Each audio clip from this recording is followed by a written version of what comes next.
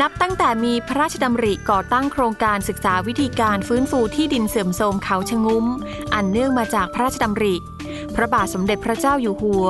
ได้เสด็จพระราชดำเนิน ติดตามความก้าวหน้าของโครงการในพื้นที่ในหลายห่วงเวลา ได้พระราชทานพระราชดำริให้ดำเนินการปลูกหญ้าแฝกขึ้น เพื่อป้องกันดินพังและการชะล้างของหน้าดิน และการคัดเลือกสายพันธุ์หญ้าแฝก โดยศูนย์แห่งนี้ได้เปิดให้เกษตรกรและผู้สนใจ ได้เข้ามาศึกษาดูงานด้านการฟื้นฟูทรัพยากรดิน น้ำและป่าไม้ ตลอดจนดูแปลงสาธิตการเกษตรทฤษฎีใหม่ ตามแนวพระราชดำริในพื้นที่อับฝน ที่ทำขึ้นเพื่อเป็นต้นแบบให้กับเกษตรกร ที่ประสบปัญหาความยากลำบาก ให้สามารถผ่านช่วงวิกฤตไปได้กรุงศรีร่วมอนุรักษ์วัฒนธรรมไทย